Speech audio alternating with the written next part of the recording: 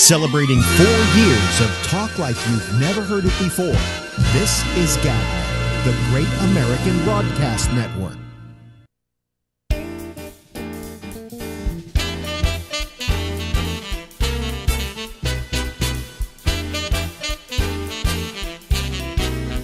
Sing along.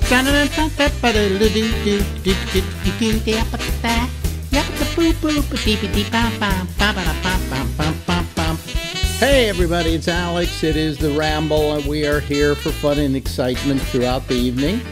Uh, we go until uh, let's see here until midnight Eastern day uh, Eastern Standard Time. It's not daylight time yet. We'll be again soon. Uh, and uh, we're we're here until then, and we will have our citizens panel a little bit later. I've got something special for you tonight, and um, I want to first of all thank God by the name of Art Vuolo. I guess I pronounce did I pr- pronounce it correctly, Art Vuolo, uh, Art Vuolo Jr. Right? I like that Vuolo because my nickname when I was a kid was Bolo, so you know. But uh, he um, he uh, lives in Michigan, and he has had I I guess it it's kind of you know how how we all have kind of like hobbies, and eventually they turn into into a business. I mean, like well, this is a business that turned into a hobby, but normally, I mean, when I started out in radio, before I ever started out in radio, I was doing pretend radio shows in my bedroom, you know, on a tape recorder. So a lot of us start out uh, doing something as a hobby, and it's so pleasant and wonderful when that hobby can also turn into your pastime and your profession. Uh, and Art Vuolo uh, did has been doing something over the years, and to show you how far back it goes, the first time I encountered him was in 1982 uh, in San Francisco, and uh, he he got a hold of me and said, "Do you mind if I come in and videotape you doing your radio show?" So I, you know, said, "Sure, great. You know, just let me have a copy of it or whatever, and you can come in and do it." And he came in and did it, and uh, he, that was part of what he was doing. He was going all around the country.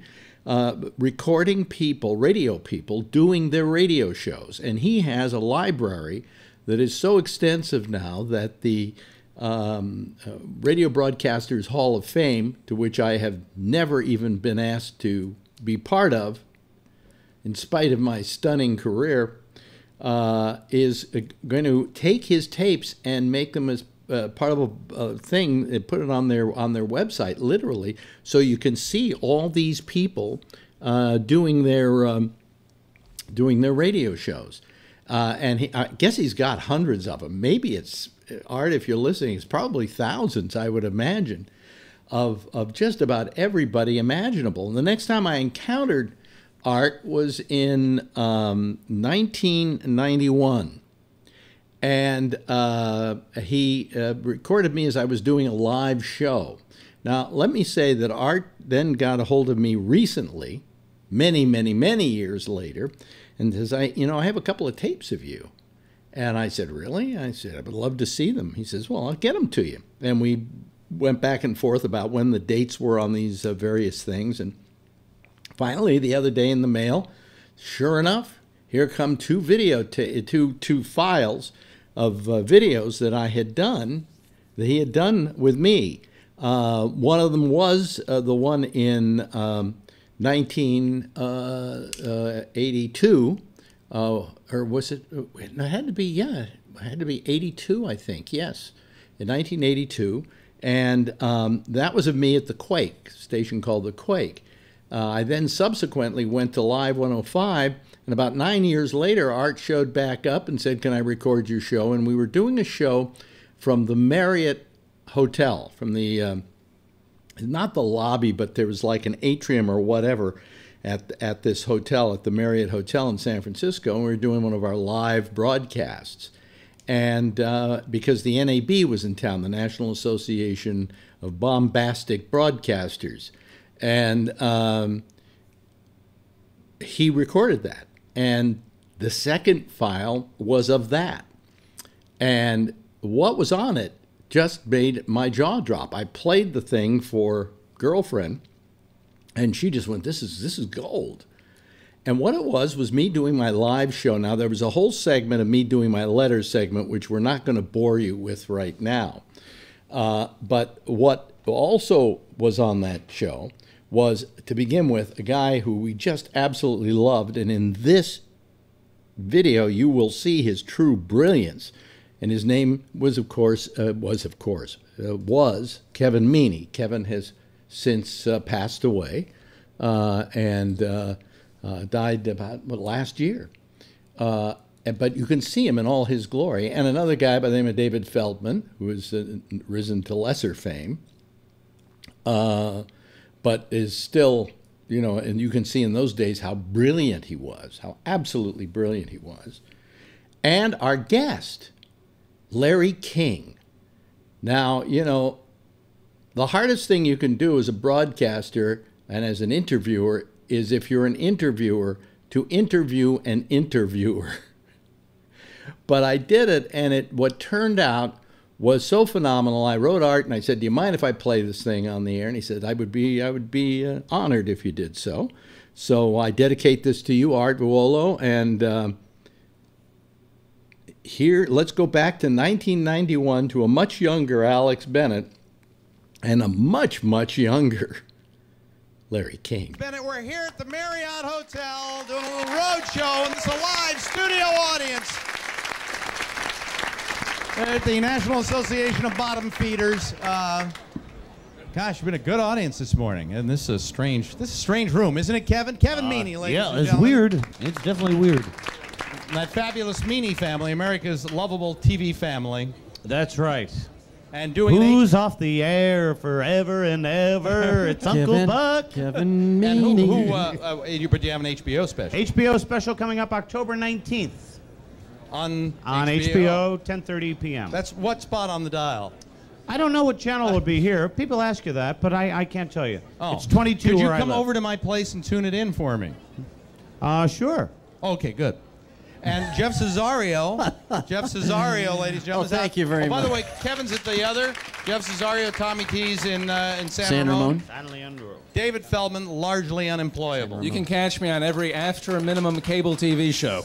You know, it's amazing. It's, it's amazing who you meet at this convention because already today, passing by me is the guy uh, who fired me at W at, at this radio station originally, and then another guy who fired me at WIOD in Miami. So that that. Alex, I Hey, got some news feel- for you. Don't, don't boo him. He still has to live in Miami. Okay, I think that's. Alex, we're going for the hat trick. Then, all of a sudden, like it's some kind of flashback of my life. A guy comes up to me, and says, "Hi, hello, you remember me?" And it was Bruce Williams, who's on uh, the NBC network. And uh, the reason I remember him is because we worked together at WMCA in New York. And a few years ago, I went back to WMCA in New York, and there was this picture that was taken of all the people at WMCA in New York. And it was like uh, me and Sally Jessy Raphael and Bruce Williams, and they had put me on the periphery of the picture. And I looked at all the other people who were on the periphery of the picture and said, I bet we're going to be fired in two weeks. And sure enough, two weeks later, we were out. One other person was in that picture, and here he is, ladies and gentlemen, Larry King. Have a seat, Larry. Here, here. Morning. Thank you. Do you, uh, Thank you. Do you remember that? You remember that picture? No. We were all standing there with telephones in our hands. No. But I, I, I'll answer any other question but that. But it was amazing. You, Sally Jessy Raphael, I remember being, we, when when we started on Mutual in '78. Our first New York outlet was WMCA, but it was so uh, brief because we went over to WOR in about six months. I think we were on MCA six months, maybe a year. Yeah. And then we were on OR all those years. But I, I remember that. I don't remember posing for pictures with well, the phone. they put me on the periphery. Everybody on the periphery was out in two weeks. What time of day were you on? I was on. Actually, at that point, I had. Uh, it was very strange. I was doing a show. Uh, uh, I was doing the afternoons there, and uh, then Barry Farber lost the election. He was a For mayor. local talk show for mayor and needed a station, so they fired me and hired him. And I told everybody they should have voted for him. You know, uh, and I lost my job. Whereas if he were mayor, you'd still be in New Yeah. York. So by the time you saw me, I was doing part times there. Well, this is my. You you belong here, Alex. It's this is a strange city, and you belong. Also, this is uh, What you're trying to say is also only- my, only my this- favorite city. Oh, this oh. is uh, you know, I tell that to everybody. You go around the world and you travel a lot, and with CNN, we're all over the world, and people always ask where, if you could live one place, where would you live? That you're not living now, and it would be San Francisco. Oh, This is come just- on. Oh, that's right. Just suck up to Yeah, them could right you now, kiss Larry. a little more Suck up to tail who? end? Yeah. Suck up to who? I resent that. I'm so, who's here? The mayor is here. I, Herb Caen is here. Who am I sucking up to? I love San. This is this is a special city. I think when you spend a lot of time here, you don't realize it how special it is until you go other places. Uh, Like most other Miami. places look alike. You know, I feel exactly the same way. I don't live here, but if I uh, could move back, I would. I love Yeah. this city. All right, town, all San right. If Francisco. I, I, all right, I feel the same way. It's a great town. You don't feel the same, do you? I would like to move out of here as quickly as possible. I, I think it's a backwater town. It's what the sixth, seventh largest market, eighth in the Fifth. country, Fifth. I just feel like an amateur living here. For And I just fifth- don't feel I'm good enough to make it in New York or L.A., so that's why I hide here.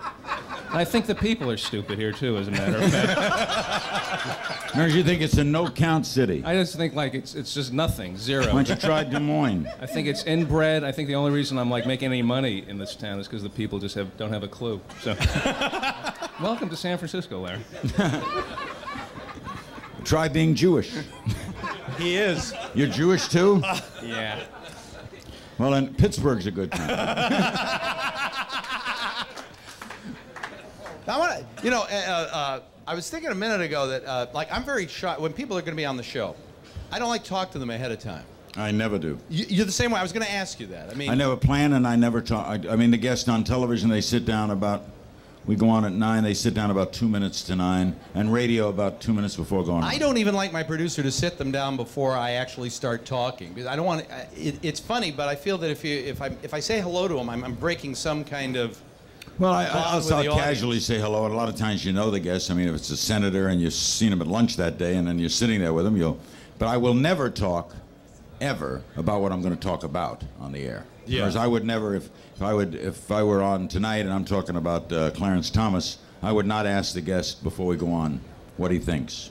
And I have no idea what I'm going to ask the guest as I'm introducing the guest. I, I, I've always worked that way for 30 years. Is that as I'm saying, uh, my guest is Alex Bennett, I don't know what the question is. And then something happens. That's pretty much the way I work. I- Some kind of chemistry happens. And that, uh, it's not a lesson. If I was speaking at schools, I wouldn't say this is the way to do interviews. But you have to do what's best for you. You have to do what's most comfortable to you. And this, that's probably true in any business, but certainly in broadcasting. Whatever you feel the best about is the best. You can't be someone else. I work off the top. You like working off the top? I always, I always work off the top of my head, and I uh, uh, uh, more, uh, because mainly It because shows. I don't think that there's any. It was a cheap ball joke. I'm sorry. It's a great conversation just talking about, you know, not planning anything and just.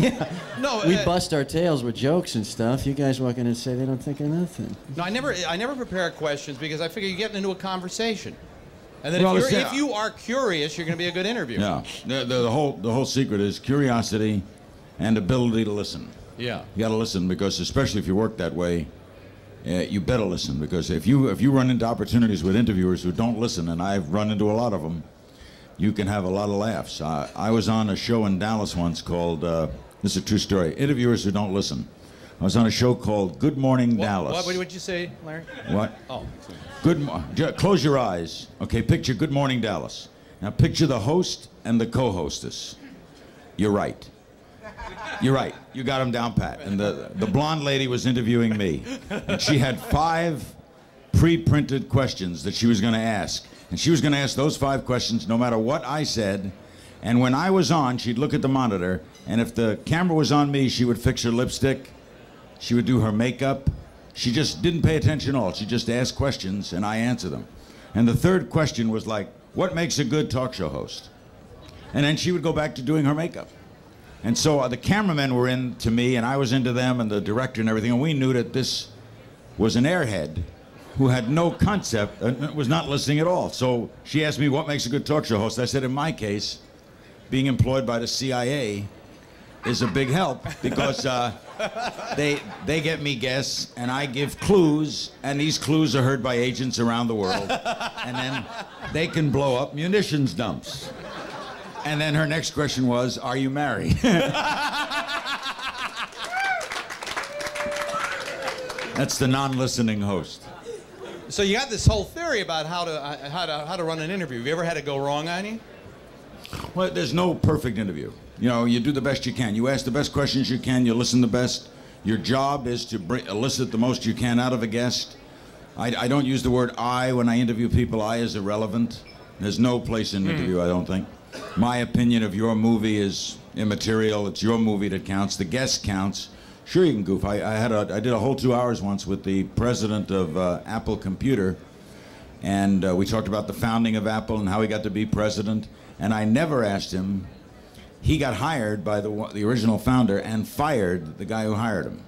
He wound up being Sculley. president of the company, Sculley, and fired Jobs. I never found that out till the last phone call. Ask why I didn't ask that, and that never came up. Sure, you're gonna you're gonna miss things. That jumps out in my mind. No one's ever done the perfect interview, but I love. I think the first thing is to love it. I love the exchange. See, like right now, I'd like to be asking questions of everybody here. I would like to do a show where the the curtain opens, and that's where we all learn the guest. I don't care to know the guest. I'm, I'm exactly the same way. I like exactly that. the same way. Uh, uh, but You uh, guys are very much alike. I'm out for his job. Don't tell him that. Anyway, now, uh, uh, but the, the um, who, you know, I'm not saying that I don't want to put you on the spot on this one, but the fact is that some people, no matter how nice they are, no matter how decent they are, sometimes they're just terrible interviews. Yeah, well, then Really terrible. They are. So Some I'm- people are I'm not. I got to ask you who's the worst. Most mo- most people who go on on shows are pretty good. If you're going on CNN tonight on a show that's going to be in 102 countries around the world, you're probably a pretty good guest. The producers have talked to you.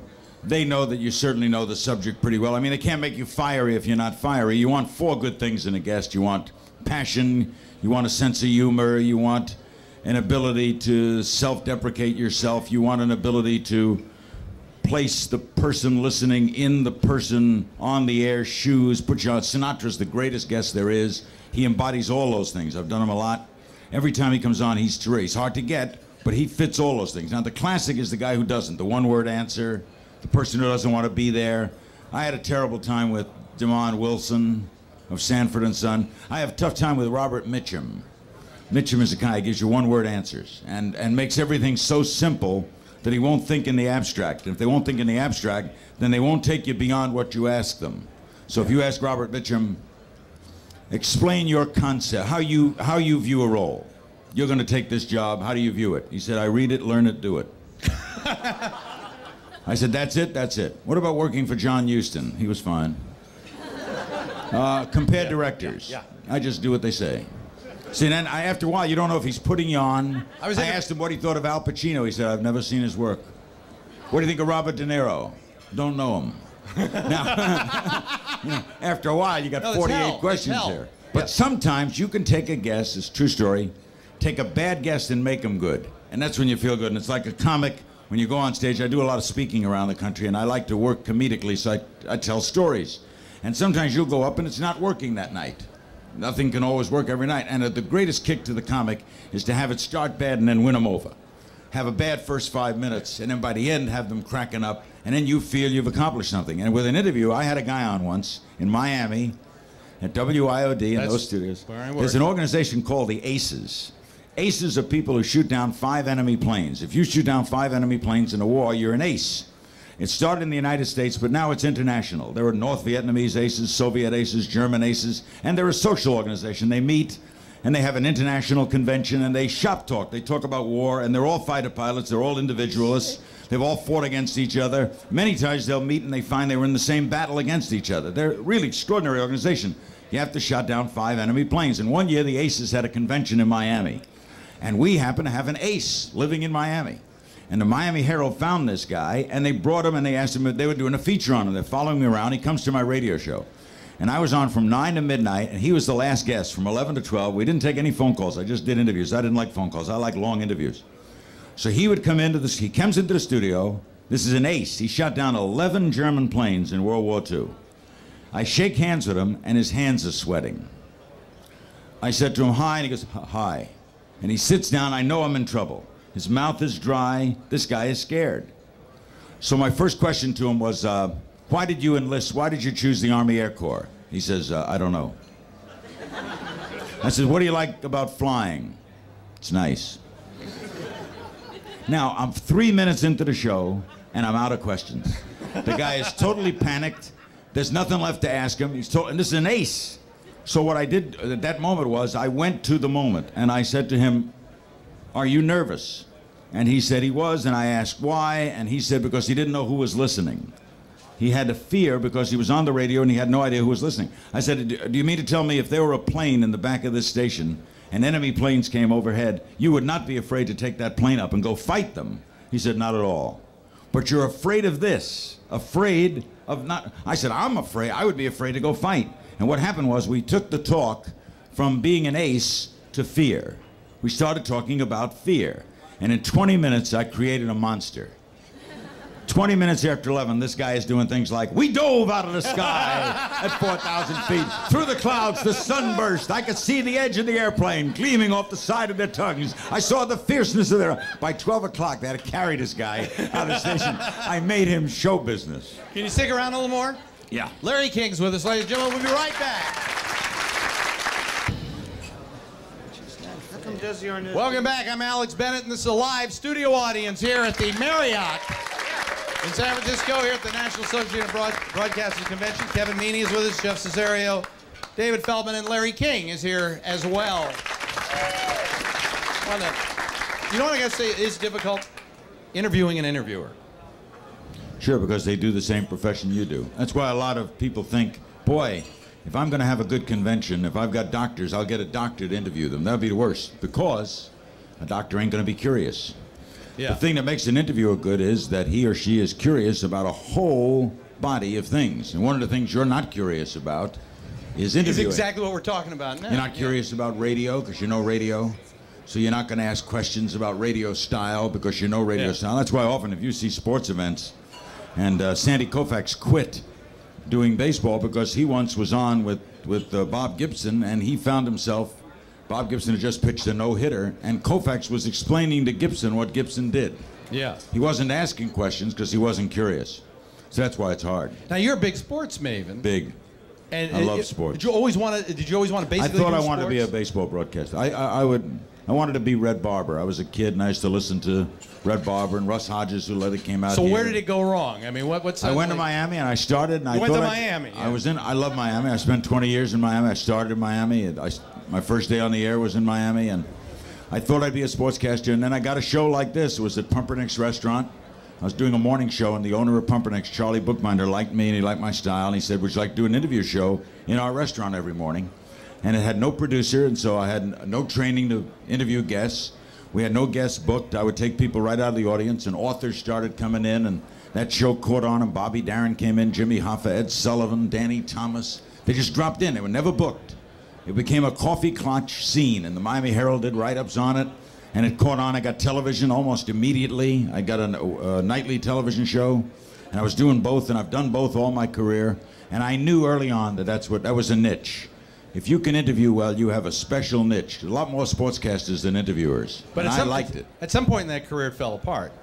In 1971, I, 72, I lost both jobs. I had outspent myself. I was forced into bankruptcy. I was living on an ego trip. And then I uh, did some writing and came back on the air in 75. And then in 77, Mutual had this idea for a national radio talk show, which no one thought could work. In fact, I even doubted if it could work. But I moved to Washington, and that show caught on. It was, it was the right time because AM radio was in trouble.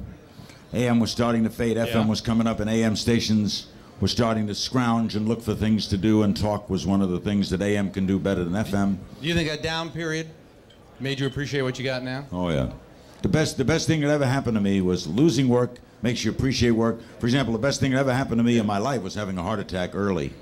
I had a heart attack in 87. Wow, I Some people have all the luck. yeah, I gotta try that. Well, it got me to stop smoking, lose 30 pounds, be conscious of what I eat, be weight conscious. I just passed an insurance physical that shows I didn't, didn't even have a heart attack.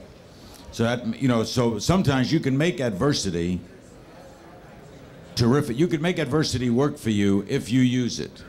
Whereas if you take the down Yeah. period and make it up. In fact, everyone I've pretty much known has had major down periods. Oh, absolutely. Yeah, and the, the down period helps you when you you don't learn anything when you win. You learn a lot when you lose. So Don Shula told me once. He's really right.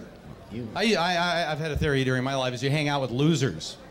And you learn about losing. That's why I hang out with Feldman, for instance, as an example. Well, guys who lose a lot tend to drift together. Jack Paar told me once, you know, people, he'll walk into a restaurant and there'll be six or seven television hosts sitting in the corner saying, who is he? They're losers. I mean, if you sit and worried about guys who make it, and there are a lot of people in the radio business Yeah. who have a losing mentality. There's something about radio. I don't know what it is. Yeah. But there's a lot of guys, no, they really, they sit around and they just get up in the morning depressed. They're going to hate the general manager before they meet the general manager. Gee, who They- would that be? who would we know on this dais? I'm as happy as I've ever been, damn it. Have you had that kind of life, Alan? I think for a while, yeah, but not now. I You're love my now. general manager. You love your. gen- Well, not, Wait a minute, this is San Francisco. I have to ask that twice. He's been You tested. love your general manager. uh, yeah, no, he's, he's, he, no, I, I, like, I like, I like, love the job. I love this audience. This is, this is, Well, this it's is the young, best part of it vibrant. right this is a here. vibrant, great audience. I owe everything I have today to them, and I'm going to get even with them for it sometime. Also, a lot of nice ladies here. Oh yes, yes, yeah. There are there are rewards to this job, huh, Alex? Uh, it's a nice job. I got into it for the records and the women, and I got a real nice record collection now, and I'm happy to have it. So Why do what- these comics stare at you with such admiration? Do you really worship Alex? Is I'm he- exhausted. No, we're just we're out. Been I here got since I six did a this set at 5:45 this morning, Larry. So I these opened the guys- show. These guys are your fans. No, we're afraid of him. I'm the king of comedy here in this town. And Larry, great. I gotta go, guys. Glad Thank you you very come much down. for Larry doing. King, ladies and Alex, gentlemen. Thank you, Larry. We'll be right back. We on the air?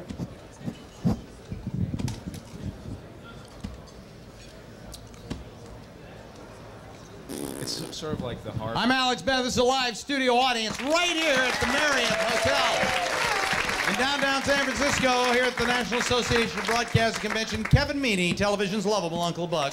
Thank you. Who's off the air forever? Canceled. But does have an HBO special coming up uh, next month, this month. October 19th. October 19th, called Kevin Meaney. Get that puss off your face special. And uh, next to him, Jeff Cesario, I'm actually a a- failed yeah. pilot at CBS. I'm actually television's lovable Uncle Tanoots. Would be my. and he's out Oh, of so you know Danny Thomas? Yeah, You're correct. at the other cafe. Hey, other, How about that glass coffee uh, top uh, table? Is that true? I just hope It we is use true. coasters. It is true. I Kevin. talked to somebody who works for. I'm at Tommy T's, NBC Kevin? Specialist in Holiday. San season. Ramon. I told You my are mother at the the glass other top cafe. cup. I told- Feldman isn't working. I told my mother about the glass top coffee table. She said, "Well, I hope we use coasters." Nobody gets that because nobody knows what we're talking about. Well, Danny would like to uh, get a. I, I don't really don't Now, want to you, say it. you don't want to stick around for our, our reviews No, because you always argue with. I always argue with this man. I appreciate discourse. Mm-hmm. So please stick around. Okay, all right, I will then. Ladies and gentlemen, Who are you going to review today? We'll here with see. our movie reviews is Michael Snyder. Yeah. Good morning. The entertainment Oh, that's your name. The entertainment Michael report Schneider. is brought to you by the Punchlines here in San Francisco and in Walnut Oh, let me just ask you one question. Are you uh, Before the plug or Are you the plug? hyping the punchline? Did you did you ever They- they put bought did you time. ever put down acts from the punchline? Why, certainly, I'll do that You today. know if you you like. don't. I try. All right, go ahead, go ahead, go ahead. Brought to you by the Punchlines here in San Francisco, where you can see Kip Padada, James Wesley Jackson, and Shyama, and out in Walnut Creek, Don McMillan, Alex Reed, and Greg Barrett. And I got to tell you, folks, if I seem a little groggy, I've been partying all night with Bowie, and uh, it's been a rocking good time here at the convention. Uh, Smoking the crack pipe? oh uh, have you been? God. A lot of crack smoking here You know, at as the a matter of NAB fact, convention. Iman does all the uh, the copping. She does the copping, and David does all the smoking. And it's a groovy thing. It's a beautiful thing. Anyway, Cop and uh, this is what happens when you reach the top. And Bowie smokes the crack. It's a beautiful thing. He said it. I'm just. Uh, No, I. David, he's a great guy. Just kidding, Dave. Um, Barton Fink opens today. Uh, have you seen this thing yet, Kevin? Down south, in La La Um, Land, where the no, movies no, are I free haven't seen it, no. Life is easy. Totally cool. Totally bizarre film. The Coen Brothers, the guys that did, um, they did Blood Simple, Raising Arizona, and Miller's Crossing, and this is all about a, uh, a playwright in New York during the '40s, played by John Turturro, who is great, really tremendous, and he um, decides to break down and go to Hollywood, make some money, write a few scripts, and it's like the nightmare that happens to him, the living nightmare that happens to him in L.A. John Goodman is in this thing from Roseanne and, and other um, well-known work, and he is great. Best performance I've ever seen him give on screen.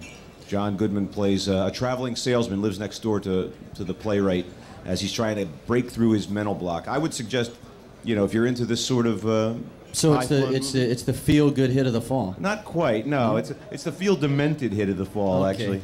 So uh, I would recommend it highly. It's a wait in line for me. My kind of movie. Barton Fink, and um, you know, uh, I would also suggest that uh, Freddy's Dead. Promises, promises. The final nightmare. They told us that, but I, I really I have a hard time believing it. They wouldn't let us see Freddy's Dead, the final nightmare. So it really doesn't matter then. No, not particularly. I, I don't know. Maybe I'll check it out. Maybe a bargain matinee for you Freddy fans. Robert Englund is back. Maybe for the last time. Maybe not. I don't know.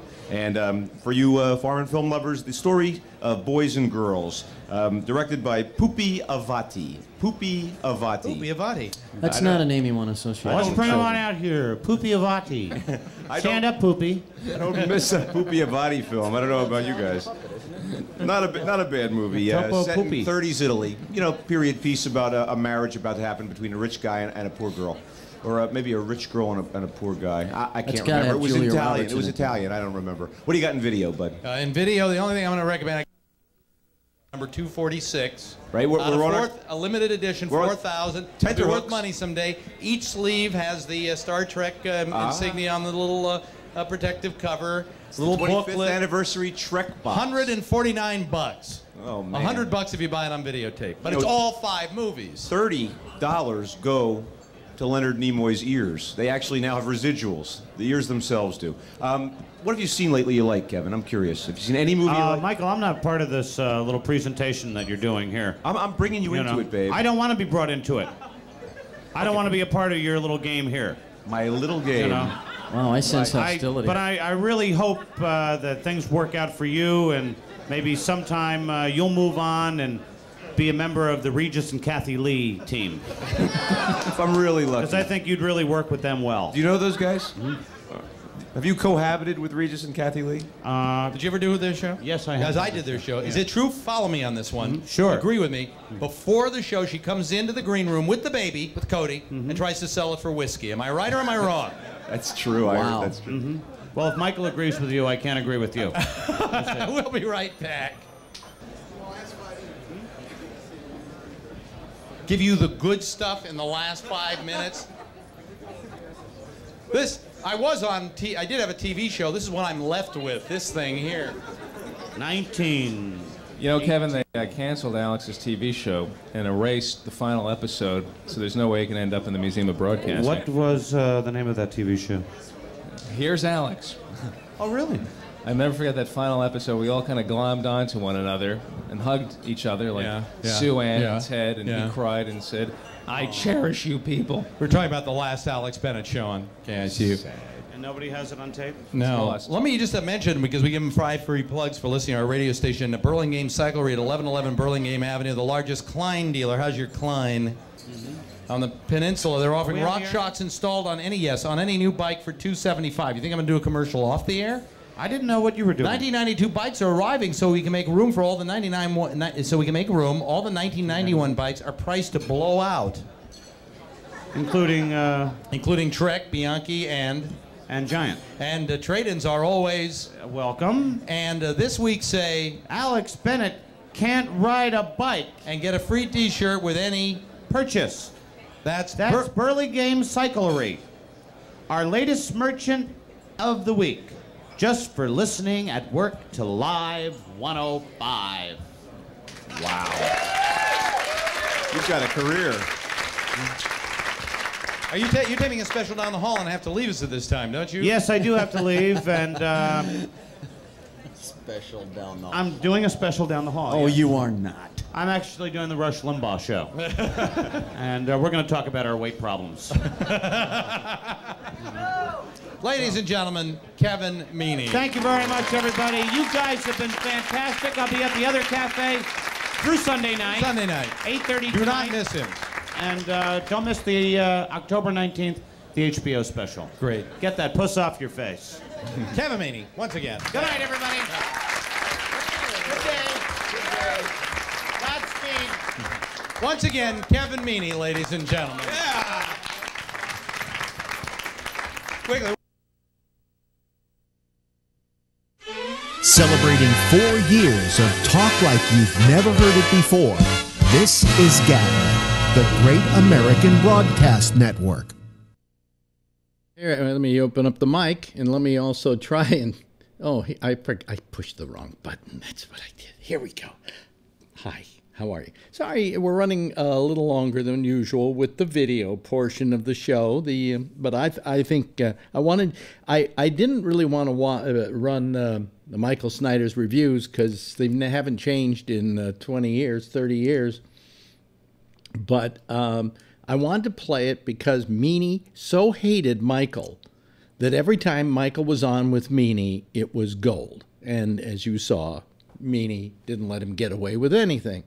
And uh, there was David Feldman there and Jeff Cesario and the great uh, Larry King uh, when we were both pups, okay, and uh, not kids any longer. Anyway, look, I want to let's open up the lines, okay, and let's talk to the people out there.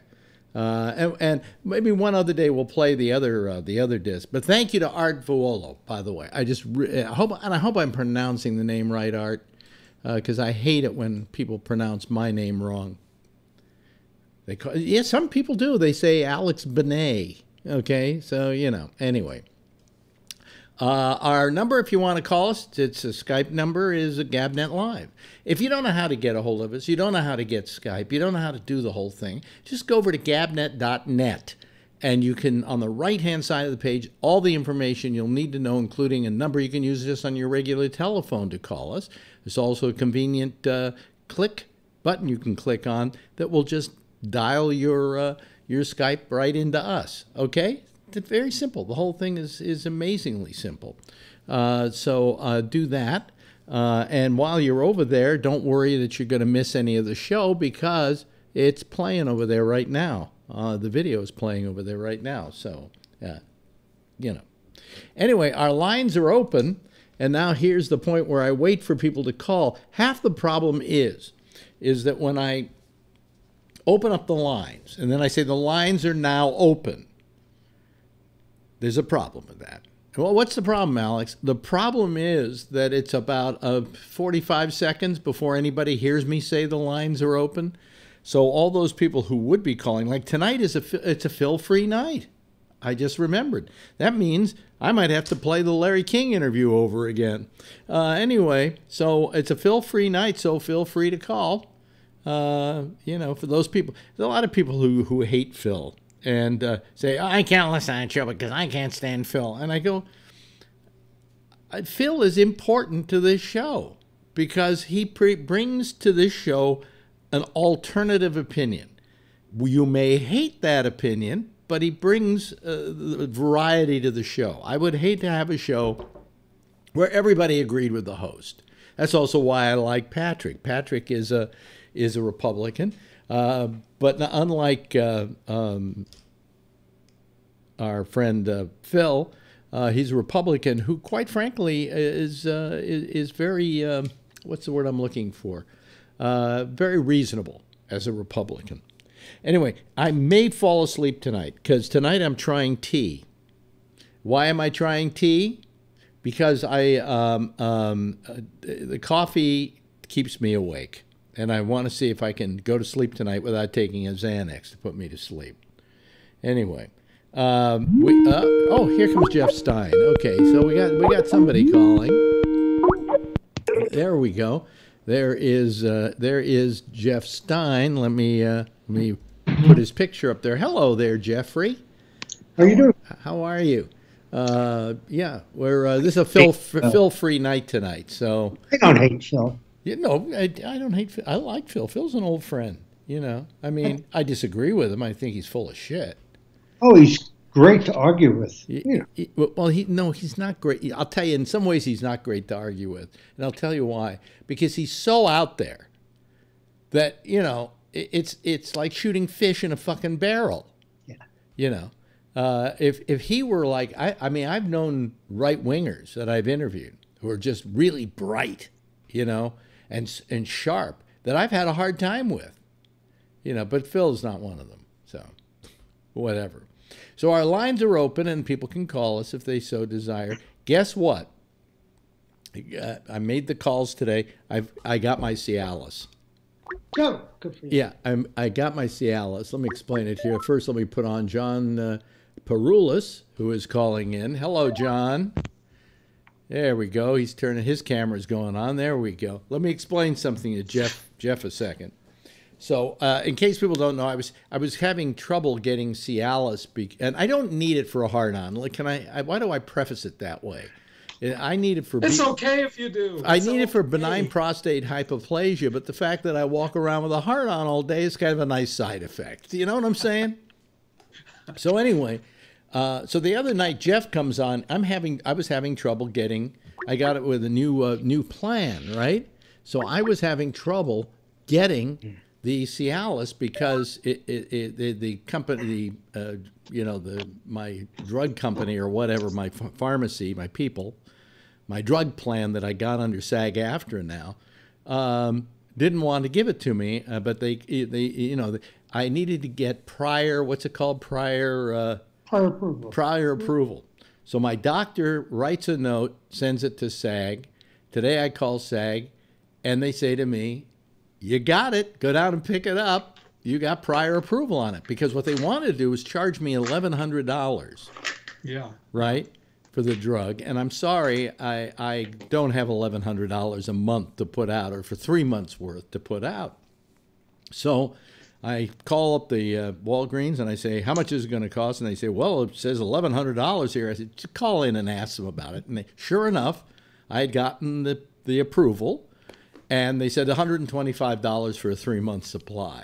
Now I was paying 75 for a one month supply before. So this, this is what I'm I'm saving.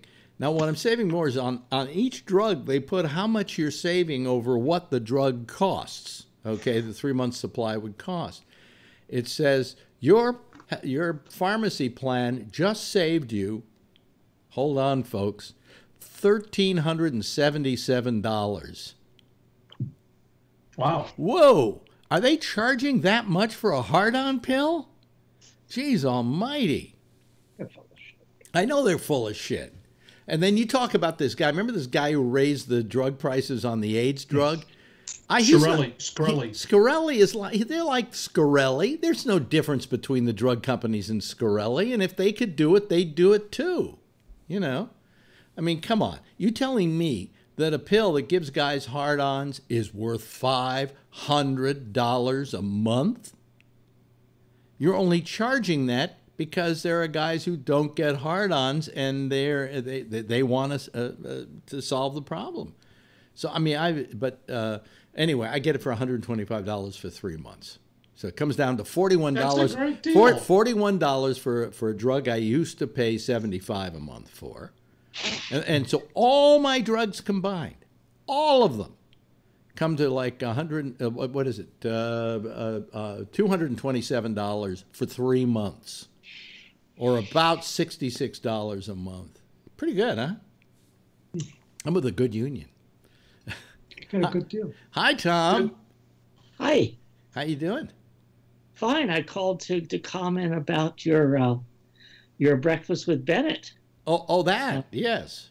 I really like that. I, I, I just got in late and I turned on it in progress and uh, while uh, Larry King was on Yeah. and uh, I uh, just wanted to let you know, Mm-hmm. thanks to Michael Snyder's movie reviews, You were able to find out exactly the date of that show. Exactly. Uh, Barton Fink premiered on August twenty first, nineteen ninety one. August 1st, 1991. August twenty first. 21st. Okay, so that was August 21st. 1990. Now here's the thing, you know the the the, the thing with um, uh, uh, Kevin Beatty and uh, Michael Snyder, uh, the uh, do Sean Connery again. Yeah. Uh, well, There- my uh, well, no, was, here, here's what we here's what we're talking about, folks, because we don't want to leave the audience out out in the dark. That's right. You have a whole new Uh, audience. uh, uh, he uh, he was doing a review and he was doing Sean Connery, and then he did a little impression, Michael, of what he he thought did was the impression of Sean Connery in The Untouchables. yeah, and and it was really a terrible impression, if I if I remember. and uh, and and um, Meaney said, "Oh, that was a great impression of Connery, uh, Michael. Do it again." No. And and uh, Michael says, "No," and he goes, "Do it again, do it again." In that voice you heard for Kevin Meaney, Yeah. do it again, do it again. He starts doing saying, "Do it again." It had to be what five minutes, over Oh, and God, over that- and it over just again. kept going on and on. And it got The to a point. It, it, it, he, he, he, this is what a dangerous comedian he was. He took it to a point where it was no longer funny, and then kept doing it more, so it became funnier again. Again. You know, in other words, he took it to an extreme, and it was the one of the funniest things. I, I don't have a recording of it, but it was one of the. Well- fun, and I Well, may, but I can't do. find it. Maybe you do. Uh, one thing, First Knight premiered on uh, July 7th, 1995. Wait a minute, July seventh, nineteen ninety-five. Okay, Or- uh, Damien, send me some more of my tapes. I don't think I have any from nineteen. What year was that? 1995, July 7th. I mean, I'm getting 1995. these dates from IMDb. And that's So- what, what was that date again? July 7th, 1995. Seventh, nineteen ninety-five. Okay. I know the movie was First Knight with uh, Richard Gere and Sean Connery. Who knows? I might be able to find the tape. you I, know. oh, oops. Oh, there's goes my phone. Sorry about that. uh, anyway, I forgot to turn off my rigger. Uh, Yes. But as but the interesting thing I just wanted to point out about this is 1995. This that was actually, or this event with between Meaney and Snyder was actually before then. So obviously this was a feud that was going on for a while. It was a feud that was slowly building. Uh, uh, Meaney, for some reason or another, absolutely hated Michael Snyder. Uh, and the only way, if you, you know, Michael Snyder still does reviews for us on on the weekends here, and uh, might I say that the only thing that's changed about Michael Snyder is brevity. He was. I noticed how fast he got through a movie review in that thing. If you listen to him do it now, he goes on forever. You know, and uh, I wish I could play him that thing because he could see how fast, how how terse he was at giving the reviews. Uh, but then again, he knew we had time. You know, we had to had to use the time and so on. So whatever. Yeah. But I, I I think that what you see briefly in that tape is the genius of Kevin Meaney. There was just he was. There are certain comedians that I refer to as attitude comics. And he he was an attitude comic. There was just an attitude he had, and the attitude was funny, no matter what he was talking about. Uh, uh, Gilbert Gottfried's another attitude comic. Uh, isn't a guy who says, "Hi, ladies and gentlemen. Hey, did you ever you know drive down the highway and blah blah blah blah blah," and then they make you laugh by telling stories or relating to their childhood. No, an attitudinal comic. eh, He has the whole bits of. He used to have things about, uh, well, we're big pants people and then he would just he would just drive it into the ground until people were i've ac- i actually had one day that meeting went into something i can't remember what it was and i finally had to beg him to stop because Yeah. i was hurting from laughing so hard that I, I, I, I wanted the pain to stop. I asked him, please do me a favor, stop, okay? Because you're making me laugh too hard. And he's dead now. So, Yeah. you know. Mm. Woody Allen said something once about that he met Groucho Marx. He'd always Mm-hmm. wanted to meet Groucho Marx. And he finally got to meet him. And it was after his third heart attack. Mhm. And he was just a vegetable. Oh, and that's and Woody Allen said that depressed him for months because he realized that no matter how funny you are, no matter how great you are at your craft, eventually you're going to just be a blithering idiot. You know, really. I, that there, there's no there there is no. Um, well, how did how did how did he put? I'm trying to remember how he put it again. There's no there was no um, uh, reward for doing a good job. You know, that that all of a sudden here was this guy who had none of the capabilities he once had. They were all stripped from him by illness. And Well, then there's yeah, there's something good to say about death. Is you're no longer a blithering idiot. Well, you know, I mean, probably Groucho would have been better remembered if he had died from the first heart attack. You know, but he kept going on TV, and you kept seeing him, and he kept getting worse and worse and worse. And uh, you know, if if I have that big stroke, I'm not coming on. I'm sorry. It just you know, you can do the show, Tom. Jeff can do the show. Hey, somebody today mm-hmm. somebody sent me a Facebook. Huh? Today somebody sent me a Facebook link, Yeah. and it was the cast of MASH that all died, and it was like the whole show. It was, you know, there's just like two or three guys. Alan Alda, I think, is the Well, only one. St- well, he's Yeah. still alive. Uh, I don't. uh, I don't. the- who played the um, uh, Hot Lips? Uh, That you know, I forget. Yeah. Uh, she she's still alive. is she still alive? What was what was Yeah. her name? I'm trying to remember her name now. Oh damn! Uh, yeah, shit. I can't remember her name. Uh, but so much of the other casts are gone. You know, it's weird. It's like uh, if you watch a rerun, it's like Well, watching a show I, I hate to tell you this, John, but how many years ago was MASH? You know, Uh, it's like I say, you know, like it's funny, but right? all the big rock and roll Yeah. people that I used to listen to in the 50s are dead now. How did that happen? Well, Well, be- you know, mainly when you see because I'm I'm 78 it- and I'm heading for that long roundup myself, you know? you live forever on television uh, or the. I don't agree with that. I don't internet. agree with that. I don't agree with that. Uh, you know, I listen to um uh, Jack Bishop, and he makes a lot of references about shows in the 50s, and I really want to say to him, don't do that because basically nobody understands what you're talking about. You know, Yeah. uh, only people who are cognizanti would get some of those references. I think the other day he actually made a reference to somebody who was out before we were born. You know, A- and, I, I said, uh, you know, I keep saying to myself, you know, how many people are going to remember this stuff? Um, and the answer Well, is, now, they have reruns on the internet now. You, now you can see anything from any period. yeah, but you I don't think I don't think people really care about that stuff that's on TV. Uh, uh, what's the name of it? Uh, the old sitcom Nickelodeon? channel, Nick, Nickelodeon. Yeah, Nick at Nite Yeah. or whatever it is. Yeah, Um, right. Well, in you know, in my uh, trade journals for live broadcasting, live streaming, Mm-hmm. Uh, there's always uh, some article about trends, and the biggest trend, the thing that uh, youth are eating up the most, is gaming, online gaming, and Twitch. Uh, and I have uh, watched it, some online gaming because I, I I play games in my time. Hello, you there, Bree? Yeah. Yeah. Okay. Okay. He was having some trouble there. Um, I uh, I I'm I'm kind of a gamer. I mean, I like a few games, and if they come out, I buy them and then I play them. And uh, I got to tell you something. They run about fifty bucks, and they're worth every penny, because they give you endless hours of entertainment, endless hours of diversion, endless hours of what is the rest of your life wasted.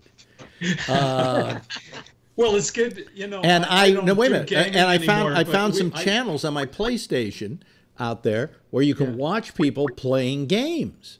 Yeah, and right. especially if it's like a game I've been playing, I really get fascinated by watching them play these games. And it's just you know it's the game, and people and people are being shot at, but I love hey, watching uh, them. in 2001, Yeah. I was in Kiev, uh, uh, Ukraine, Yeah, and I went. The internet connections are really bad. Yeah. Uh, so you had to go to the capital, uh, Kiev, and I went to an internet cafe. right. And I sat down and I got online and I was talking to my wife or whatever, you know, texting or I mean, uh, you know, sending emails. And then I had to do some spying because all these Ukrainians and Russians were sitting around, you know, intently preoccupied in their video screens. It must have been like 30 people in this cafe, right? So I said, "Oh man, I'm so curious what they're doing." I I just kind of like uh, pretended, you know, like I had to go to the bathroom or something, and I kind of wandered around. So would you believe this? Just about every single one of them was doing an online war game. You know, shooting stuff, and and I just got such a bad. I never, thought, I "Oh, never, they're, I like, never so play with people online, and there's a reason for that, because I am so terrible at it that I get wiped out in three seconds, and it's no fun. You know, I just peek my head out from behind a tree, my head's blown off. That's it. Yeah. You know, restart Hey, that- game. That's the way I used to play computer chess. I got so fucking tired of losing all the time. I programmed all my pieces to be uh, queens or I, something. you know? I, I just stopped playing chess. I just stopped playing chess because everybody was beating the shit out of me. And then I finally decided when computers came out, well, at least I can beat a computer. Forget it. That's even worse. That's humiliating. Maybe now a piece of have a machinery, a, piece of electronics computer. is beating your ass off. You know? yeah. Hi, Patrick. Hi. How you doing tonight? Just peachy, right? Yeah, just peach. He never Great. says, "Oh, I feel like shit tonight." You know? I don't. Yeah. So I, uh, that's great. Great. It's terrific. Yes. How are you, Bree? Uh, good, Alex. Uh, yeah, esports uh, universities have esports uh, programs in China. They even have them much younger. Esports. What's that? Esports. You know, uh, they're the the sport video games, right? Oh, oh, oh, yeah. Yeah, Okay. yeah. So China, uh, they have uh, a bunch of schools where you can go, and it's a big and growing business. Wow. to to go to esports schools. And you know, so some, yeah, instead of taking cheerleading or basketball, you take esports, uh, and they have uh, you know entire towns devoted dedicated to this. This is ter- that's terrific. That's really terrific. Uh, b- I, but I, you know, I enjoy watching people play games. Uh, it, it, It, it's a big thing on Twitch. you yeah. know, well, just well, to- Twitch is the major. It's. Twitch is the major method of doing it. In other words, if I want to hook Yeah. my computer up to Twitch and Yeah. play games, I can do it on Twitch. Twitch is the preferred game for that. You know, oh, Yeah. here comes Amy Manuel. I wonder what I did wrong tonight. Uh, yeah, hello, Amy. Well, there's a uh, Hey. there's a there's a movie online called Free to Play. Uh, you can get it on YouTube, Mhm. and it follows three esports um, competitors Yeah. who are very big, very big in the sports, competing for uh, like a one million dollar prize or something like that. Wow. And uh, it's a very interesting documentary. It goes into their lives and why they play, and you know, it's not just the game. They show a little bit of that. Uh, and it, it gives you the whole view of this esports phenomenon. Yeah, yeah. Yeah, so it's cool. C- uh, Yeah, no, I, I'll have to look for that. I, I, uh, but I, I can, I, you know, I can see why people would sit there and watch people play games. How many? Anybody here play video games? Jeff, I'm sure plays video games, I do, right, Jeff? No, not at all. Not at I all. do. You, you do. What do you, what do you play, Amy? Oh, I just some really kind of stupid Facebook games. Plus, I play. uh, actually, my husband and I play Pokemon Go together. Pokemon. That's like Go? our Oh, date come night. on, that's not a Oh, video That's an outside game. thing. Don't you have to go outside and use your Yeah, I could never to- play that because it would involve going outside. Yeah, especially in the play it snow. It would involve something I think they refer to as walking. You know, uh, uh, Um, well, we'll like drive to to places and and just drive real slowly. Yeah, well, I I play I play the Oh, fir- I play a lot of first shooter games and games where you have to uh, do I things do like that. climb up rocks and then jump over to another rock and s- well, you can't do that, Bree.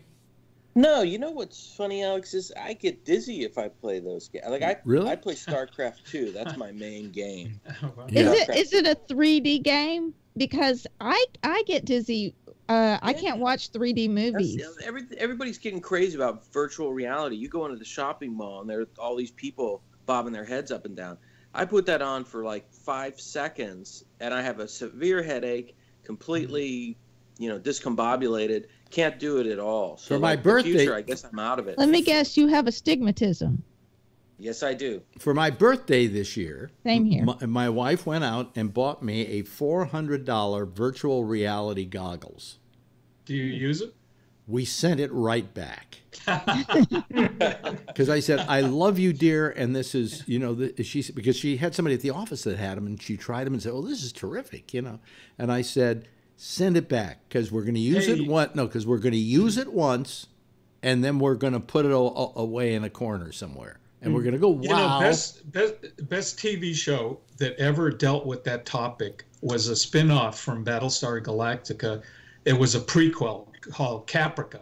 Check it yes, out. Yes, Caprica. I know. I, I have. Oh, I have them all. I, I have them all. By the way, I, Yeah, I collected yeah, them. yeah. Yeah. There was some movie um, with my I want to say Michael Douglas and oh Demi uh, Demi Moore Mm-hmm. That um, it was about she was the the boss and doing the sexual harassment, but there was some whole thing with a virtual reality kind of file system that it looked like you were walking through and What? opening file drawers. Well, you you've lost me. I don't. I, I don't. Was, was Sean I think it was in that? made for There was TV. it was not of a- really good. Oh well, then. All right. Okay, then I'll avoid it if I ever see anything by that description. Yes, Jeff. I'm curious as to what happened with Amy yesterday. Disclosure. All, uh, changes in uh, in you in Texas. Oh yeah. Well, we had our our primary yesterday, and most of the people I was rooting for and working with won their primaries. In fact, um, our new chair trounced trounced the incumbent. who who by the way i had printed up these um Yeah, but these are ballots. These are primaries, right? yeah this is the yeah, because you're all but- you're but go- the- all going to get your ass handed to you by Republicans in Texas. Well, not necessarily this time around. We had about four times the turnout, even in Denton County, as we've had as we had in 2014. Well, we're still still. This is just the primaries, you know. So I Right. mean, when it's a Democrat going up against a Democrat, you can go, "Yay, the Democrat won." You Well, know? yeah, but in this case, there was some pretty high. I mean, usually we have, in you know, locally here, we have nothing going on. Well, I think But- if you want to have a sure winner, in uh, do you have anything like a governor race or anything coming up? Yes, actually. Yeah. So we've got um, So at the top of I the say- ticket. yeah. We have uh, Beto O'Rourke is going to be our candidate Yeah, against he's a cool guy. Yeah. and and he is really going all over the state. Yeah. I just saw him last night on one of the national shows talking about how um, he is visiting places that haven't had any statewide candidates visit them Yeah. since Ever. the 60s. Yeah. Well, anyway, since LBJ. This is bore. this is boring because it's Texas politics, and most people don't know know the the ins and outs of Texas politics, the nuances. Hey, we miss all I'm Molly saying, Ivins, all I'm I'll saying is, you, if, you, if, if the Democrats want to win anything in Texas, uh, just run Stormy Daniels, and I think you might have a shot. Uh, no, but we have Lupe Valdez. How about a gubernatorial candidate that is she she was sheriff of Dallas County, but she's like five foot tall. Oh, that's hot. lesbian Latina. That's hot. Mm-hmm. Girl on girl action, nothing used better, to- right? Right, She Patrick? Used to work for Homeland Security. Because every time I I used to go out with women, the people would say to me, "Is she a lesbian?" Because I used to like that kind of look. You know, I like short hair on a woman. Yes, Patrick. I'd, I'd vote for her just if she sounds hot and if she looks hot. That's enough. I Yeah, don't give a shit yeah. what you have to You, say. you'd vote for. Our, our ratings just went down. You'd vote. No, actually, we're getting more listeners right now. Uh, We uh, got- uh, we- we uh, yeah, yeah, uh, uh, Patrick, uh, uh, would you vote for Stormy Daniels? Me? Yeah, she's blonde. She's blonde. You know what? You up and, and I mean, she's got the fake fun bags, but don't let that stop you. Yeah. No, I, I, I the, the Latina sound good. That, that Yeah, the five foot tall lesbian Latina who's I mean, she's a badass. We see. she I, can kick she can kick any of your asses, probably all of you at once. Well, I don't. That's not what I. I don't find that part attractive in a woman. However, because I don't want my ass kicked. Okay. You know, I behave myself. You will have no reason to kick my ass. Democrats should run Stormy Daniels. She'll beat. She would beat President Trump easily. Yeah, yeah. uh, uh, uh, Stormy. Well, Stormy Daniels. I was telling a girlfriend tonight. I, I don't find anything sexy about her because uh, she's not just not my kind of woman. I don't like the fake Lee press on breasts, and uh, I don't. Uh, I, you know, I, I, I never liked porno actresses who gave me the sense that they were trying to act like whores. You know, I like the ones that were kind of more innocent, more real, uh, more uh, eh, even a little ugly, so they were accessible to me. You know, so.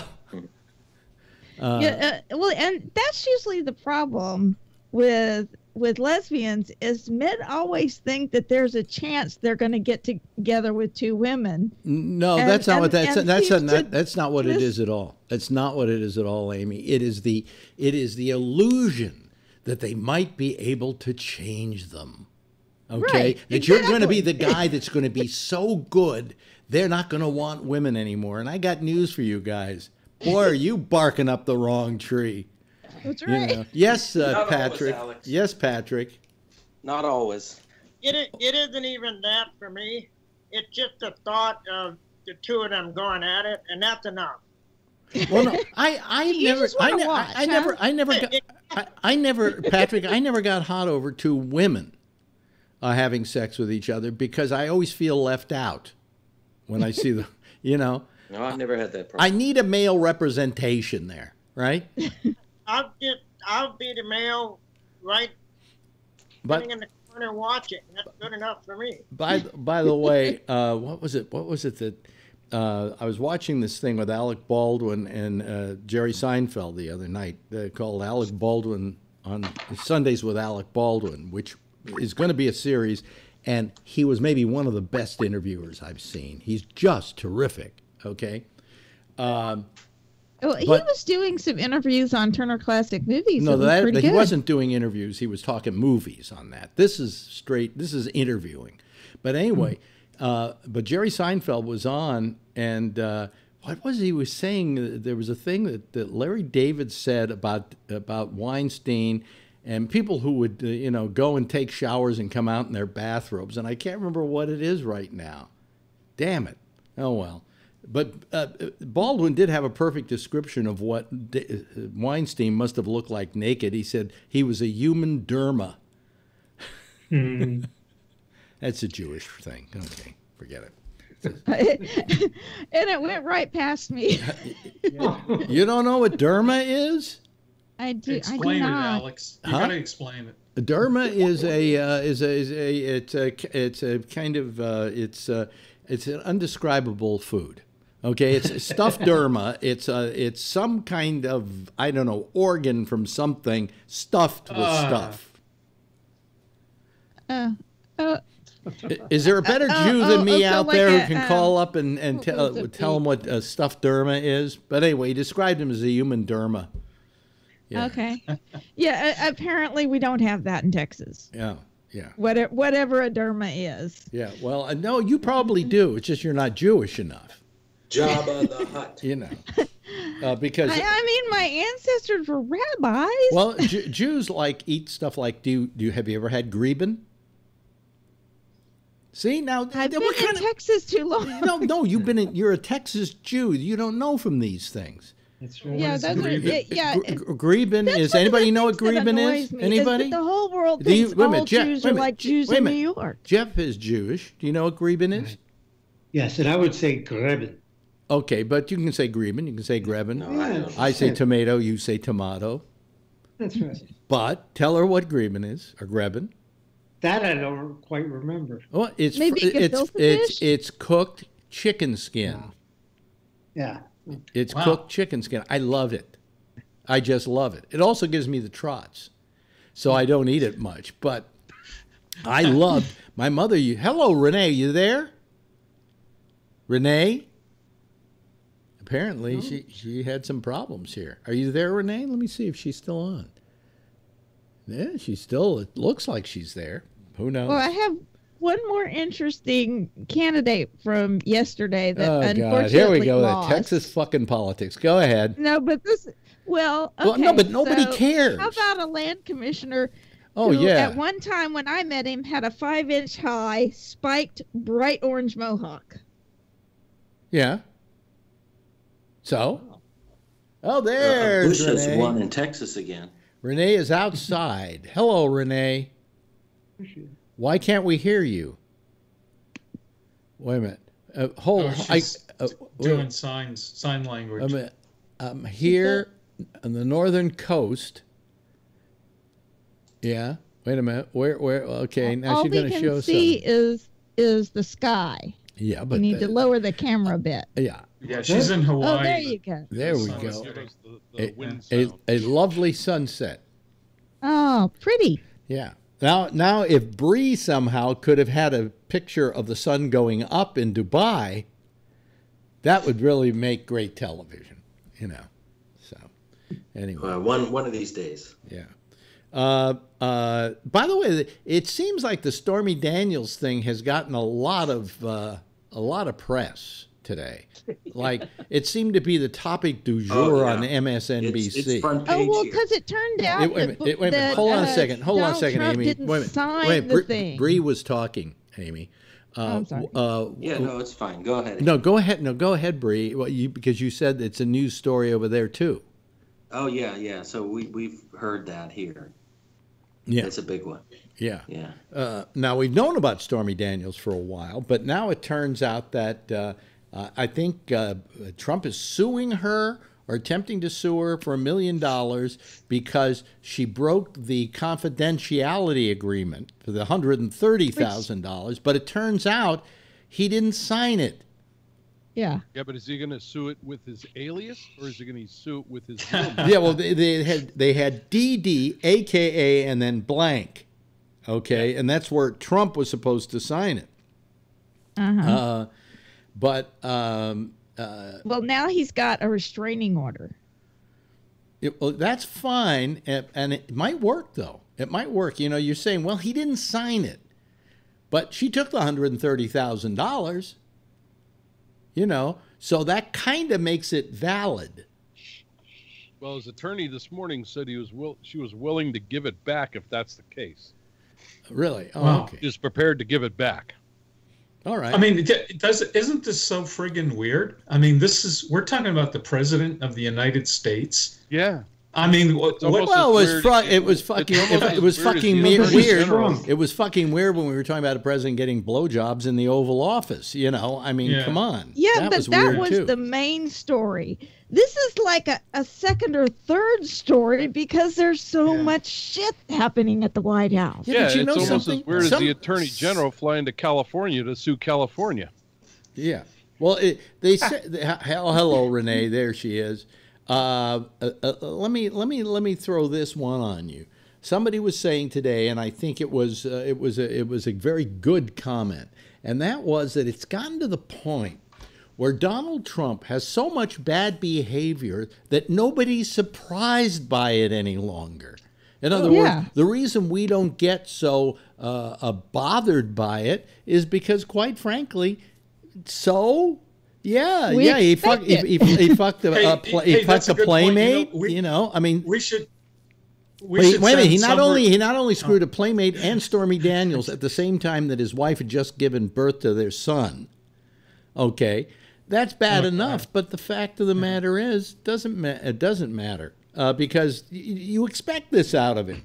So this is behavior we now kind of go along with because ah, well that's that's Donald. Well, it's the same thing they said about Weinstein too for years. Ah, that's that's Harvey. You know, uh, it, it it I I think it's uh, I think it's a big story, but I think it's going to go away because it, and it's not going to it's not going to undo him. Uh, there are going to be a lot of other things that are going to undo him before that undoes him. Yeah. Okay. Hey, uh, sorry for interrupting. Uh, but you know, I'd love to send a reporting team to Italy and ask the average Italian on the street what do they think of Donald Trump? Hey. Because they had their Donald Trump. Yeah. His name was Silvio Berlusconi. This Yeah. guy was a total. Oh, by the way, jerk-off. by the I way, mean, for you your he for was your like And they're getting it uh, back. for your information, Yeah. he's Yeah, running he's again. He's running Yeah. again. More, Yeah, bu- more. I mean, you want he's more outrageous than Trump. He was like humping his uh, his limo driver more, in front of the cameras. Yeah, but more bunga bunga parties. That's the good news. Yeah, right. so to the Italians, just this as is crooked. nothing. Yeah, and this- just as crooked and mafia connected. Yeah, Well, I don't. I do. Th- well, I don't think Trump's mafia connected. I think Trump. Oh, oh, yeah, yeah, no, yeah. no, no, no, no, no. I think Trump, because you don't live in New York, so you don't understand how business is done here. If you are uh, a um, uh, a businessman in New York, you pretty much have to do business with the mob in order to get stuff done. In other words, in order to get goods moved across town, you got to you know, grease the palm of the mob. So you know mobsters. So the fact that he did business with mobsters, he would have had to have done business with mobsters in order to build Trump City, for instance. Yes. But doesn't yes, that make him mafia connected? No, that, that, that makes everybody who does business in New York mafia connected. Tom? Uh, let's expand this. Organized crime connected. And that's where you can bring in the Russians. Right. Uh, yes. Yes. Yes. Okay. No. A- and uh, Abu Dhabi. Mm-hmm. Uh, well, uh, let's see here. UAE, uh, you know, and, and uh, Yeah, and the Saudis Okay, okay, okay. So now. you know, so you got all this stuff against him. It's like everybody has been numb to what he does. They don't. Nobody's going. Oh, Stormy Daniels, isn't that a horrible thing? You know, where where are the Republicans? uh, only where are the moral the Republicans saying? 100th level. Yeah, but where of where the where, where worst things he's yeah, done. where are the moral Republicans who want uh, more moral America? Like uh, uh, what's his name? His his uh, second in command. Uh, uh, uh, Pence. Pence. Pence. Pence. Pence would, if I said to Pence, "Hey, uh, I'm going to go fuck a, I'm married and my wife just gave birth to a child, but I'm going to go fuck a porn actress." Hi, what do you, how do you think Pence would, Pence would react to that?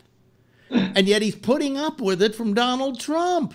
That's because Trump is giving them exactly what they want. They're they're uh, slashing taxes on corporations, making deals with uh, overseas accounts. They're they're uh, uh, you know Court. advan- yeah packing the Supreme Court. They're going to cut Medicare, Social Security. They're it, Trump is the Republican wet dream. They're fine for pu- putting up with all his stupid shit because he's giving them the meat and the potatoes, man. Patrick's got his hand up. Patrick. Yeah, I mean, if if grabbing pussy did not cause any wave within the Right. evangelical community There you go. way back then, They, this they uh, were going to vote for Roy Moore. right, Yeah, right. The Russians I mean, uh, and and frankly, like for me, I've got a friend of mine on Facebook, and she is a liberal feminist on steroids, and she makes every feminist that I know look like massive. She posted something today, and it was anti-Trump, and I said to her, you know what? I don't spend one waking moment worrying about it because if that initial thing about the pussy grabbing did not turn people off on the Republican side, Stormy Daniels isn't going to do a damn thing. So I wouldn't worry about it. I wouldn't spend an extra second posting about it. It's just nothing. Not see, Yeah, it's I'm, nothing. I'm much more concerned about the fact that the Russians had a say in who he picked for Secretary of State, and that Secretary of State that he did pick has been disassembling the State Department and not You- enforcing you the can- sanctions. You can be concerned about it, but you can't do nothing about it. That's right, Amy. Can't do shit True. about it. You know. Uh, But it's a much That's, bigger that's deal. the state. That, that's gonna the Stormy state of our Daniels is like, yeah, so what? The Russians, ha- the Russians learned from us very well. They listened to Abraham Lincoln, you know, and they knew that the only way to, that we would defeat uh, is to defeat ourselves, and Mhm. essentially they're using our system against us. And quite frankly, I don't, I don't know that w- our system can withstand it. Not ultimately. The damage that's done is is going to be everlasting. And if you look around the world, the, the trend is towards, you know, autocracy. It's towards uh, the, the absolute monarchs. Yeah, I, I think that not total authoritarianism. It's more like, um, you know, kind of Brave New World ish meets 1984 ish. But that seems to be the trend. illusion, uh, illusion right. of democracy. That's right. Well, Yeah. we've had an illusion of democracy here for, for c- centuries. You know, I, I don't think we've ever had a real democracy in this country. We have an illusionary democracy that makes people think that we have some control over our lives, which basically I don't think we do. Yes, Patrick. Wait a minute. Your mic isn't on, Patrick. Can't hear you. Uh, Never been a democracy. It's been a republic since the beginning, a representative republic. So the, the But, yeah, whole but- thing we've been, I mean, I was taught the same word, democracy, in school. It, it's never been that. It's been a representative republic from day one. Well, I, I have to disagree on this to this extent, Patrick, that when we say democracy, we're implying that we have total freedom of speech, freedom of the press, all the things the Constitution guarantees us. And yet, in reality, that's all really an illusion. I mean, as someone, uh, people have said to me, Well, Alex, you do a talk show and you say whatever you feel. And I go, I don't say everything I can feel. I feel I can't say anything uh, that that might really upset the status quo. I can give my opinion on something, you know. But if I was on a radio station and my opinion was too far to the left, well, here's Yeah, where I off. am doing my little internet show. Yes, like Peter B. Collins. Yeah. Uh, you know, I got to say, I still have hope in local politics, in which I'm involved in, in local Marin County politics. And I got to say, yes, we still have democracy here.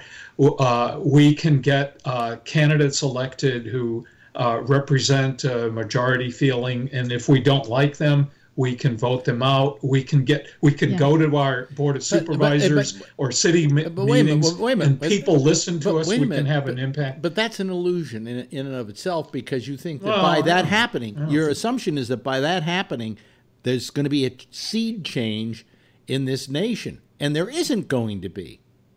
No, know? I'm saying that you're tr- you're correct uh, on What the kind of a level. sea change are you looking for? I, I no, don't put words in. Uh, No, well, no, I, I, never- was asking. I was asking Alex. I'm not Uh, saying what kind that. of sea change do I that- want? Outright revolution. No, okay, I, am saying I that, want people uh, who are so d- democracy and those those concepts have uh, shrunk down to the local level. Because, Uh, because I- he- I'll, I tell- I'll tell you something. I'm gonna, I'm, I'm going to say something, but first Patrick has his hand up. Oh, wait a minute. Tom had his hand up first, and then Patrick. Yes, Tom. Okay, so going back to the illusion and what Patrick was saying is the type of democracy we are as being republic.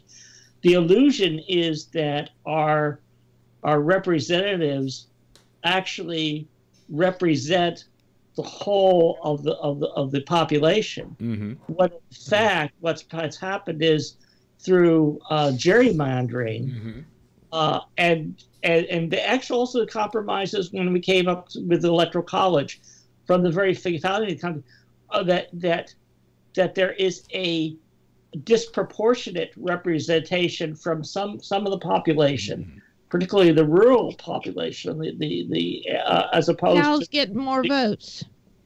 yeah, something like that. Yeah, but as I'm saying that that we have this illusion that that if you have 50 percent or 55 percent of the voters uh, uh, in a particular, you know, party, that you'll have 55 percent of the representatives of that party too, and it's not happening. It hasn't been happening for a long time.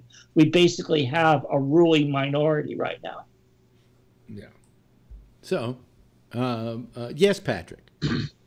I, I think I said this back when Trump was elected and probably back when Obama was still in office.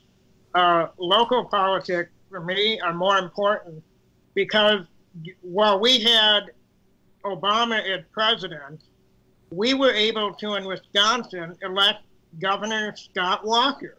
And that's what, that's what I wanted. That's what a majority of Wisconsinites wanted. And it's the same at the local level for mayors and, and people like that. Those are the people that affect our lives day to day constantly. And yes, Washington, D.C. does affect us, but in the very immediate future, our school boards, our governors, our mayors, our city clerks, or whomever represent us at a local level, if you're not going to get involved in that, then don't fucking bitch nationally because you got to start at the local level and then you move your way up to the national with the Senate and the House, and then you, you know, then you've got your president. But But, but- but wait a minute, wait a minute, wait a minute, wait a minute. But I think what you're doing is you're kind of believing in that uh, that uh, hamster wheel I, that but we it- are we are led to, led to believe is going to create change. Yeah, but Alex, in Wisconsin, we had we had throughout the Obama administration, we had Governor Walker. Mhm. Governor Walker was doing things completely different than what Obama was doing, and that's what we wanted. That's what I wanted. Yeah. My vote counted locally. Yes. Uh, Do you believe that your vote counts as much now that Citizen United is in play? Good question. Well, I, for me, I haven't seen any change. I mean, it, it, I haven't, there haven't been any election other than Trump where I voted and my- I didn't get what I wanted, that I sure as hell didn't vote for him. But uh, for the most part, I mean, locally in that, if, if it's a loss, it, it's a loss by a, a narrow margin. It's not somebody getting paid off. So mhm. it's just unique to where I'm at. See, I believe that you make trouble because that's how you make change. Uh, because, you know, it's funny, but nothing ever gets changed in this country unless somebody is afraid.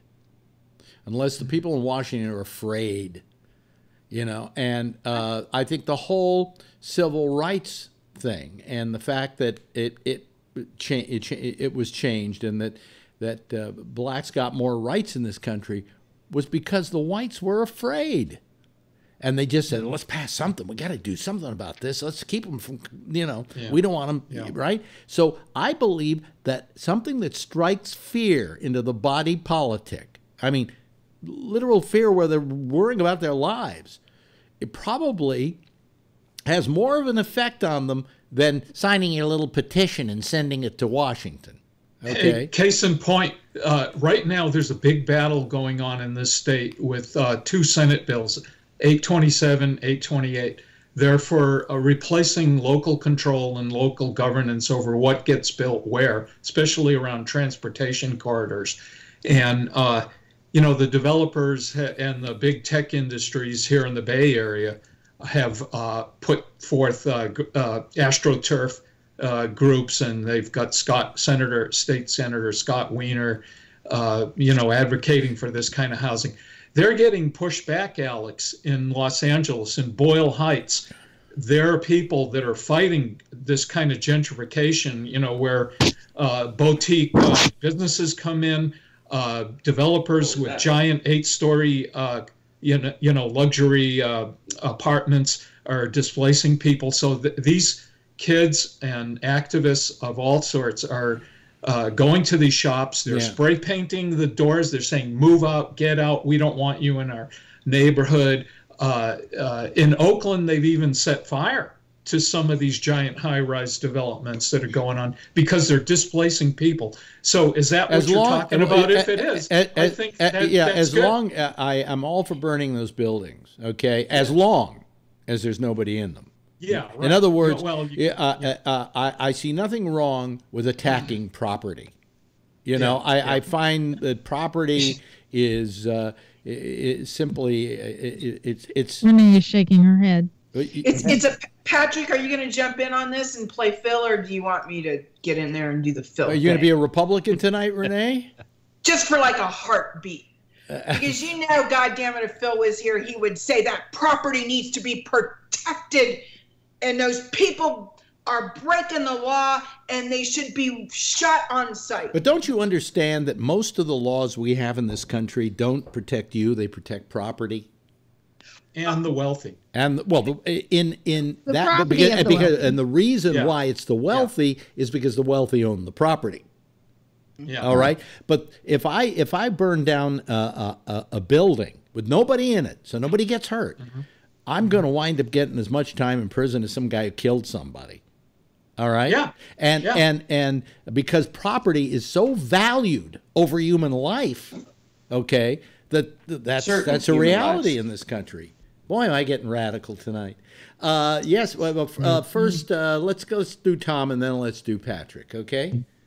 Oh boy. So let me be the one to s- say to defend uh, know, the, you know, the property. Um, but I completely disagree with that analysis that uh, that building housing on transportation corridors is going to exasperate uh, uh, gentrification. Actually, exact opposite. It's going to be relieving gentrification. And uh, I think it's despicable. No fucking I way. think it's Sorry. Despicable that people are burning. I'll be back in a few they're minutes. Okay. They're making they're making the situation worse, and we do need more housing. We need housing of all types. We need and and and, and the, the environmental community. Well, uh, uh, here, here, when I was talking about it, I wasn't talking about housing as much as I was talking about property. Okay. Okay, well, I'm talking about specifically about about people who are burning down housing because they have this notion that they are making uh, uh, neighborhoods more affordable for poor people. Exact opposite. Exact opposite. They're they're they're they're they're actually making housing more expensive. They're making the situation worse, and we we we we need, as I said, we need to have housing for all levels of incomes. Well, you no. know, I, just to counter on No, I mean, that, I agree with. I, I, there's a whole issue of affordability.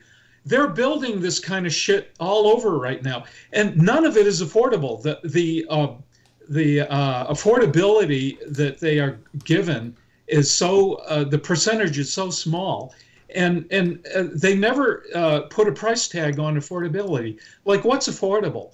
Uh, you know, if you if you want to talk about anything, if you you want to talk about make right, if you want to talk about making change, you got to uh, have a national fifteen dollar an hour minimum wage. You have to start giving people raises, uh, uh, pri- picking up the standard of living for the middle class and the working poor. You, you can't have people working two or three jobs or working gig economy jobs uh, like Uber or Lyft or shit like that and expect them to be able to afford to live here in the Bay And Area. I, I fully So support- you build your damn I houses, they're not going to house anyone. I fully support really- the wage, fully support getting people unionized, fully support that. But as I said, if you're going to say we're you know we're not building any housing, No, you know, That's you know, not what- those of us that are opposed. Uh, high, they want to build ten-story houses. Uh, Alex, you know where you did your show? We were just talking about that a couple nights ago uh, at the Goodmans in Mill Valley. They're talking about tearing down the Goodmans and building a giant ten-story housing complex complex there. I mean, that's what we're talking. Goodman's That's going to uh, add Goodman- such wait a minute, tremendous Good, Good, traffic. Goodman's was a lumber store, then became a housewares Yeah. store, and it's probably one of the biggest Yeah. ones in Marin.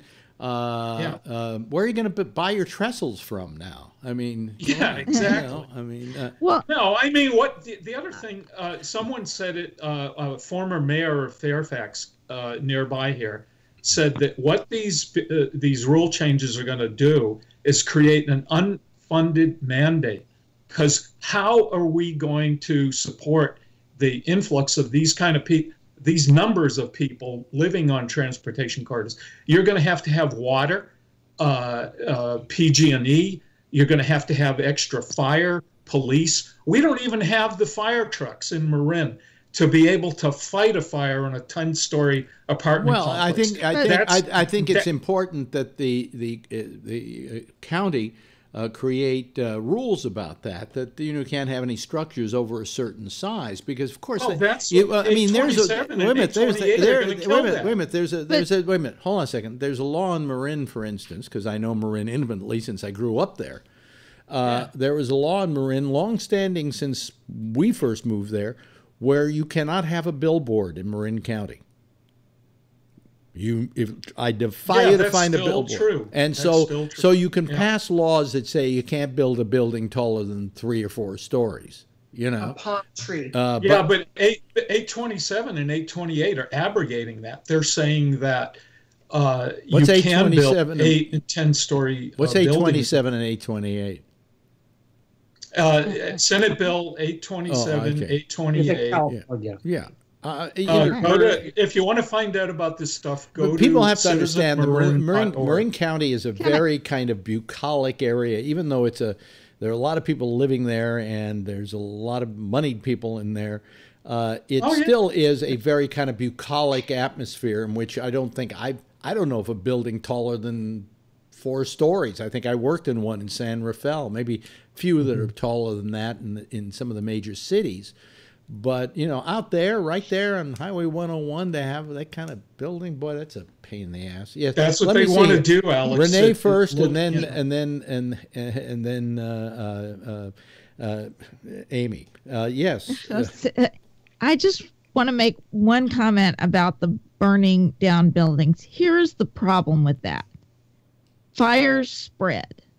Things We're, catch we're fire talking that about weren't this, uh, intended, and Amy. they're- Amy, and- we're not talking about this literally as much as we are philosophically. But but he was right. Talking I about don't, their I burning condone buildings. it. I, I don't. I'm. I don't condone arson. All right. I'm. I point that out because that shows a level of uh, anger uh, that is not making it out into the airwaves. You know, I I mean, yeah, they, they tell the news about that, but they don't go out and interview people and ask them why. And and uh, there's a lot of people that support that.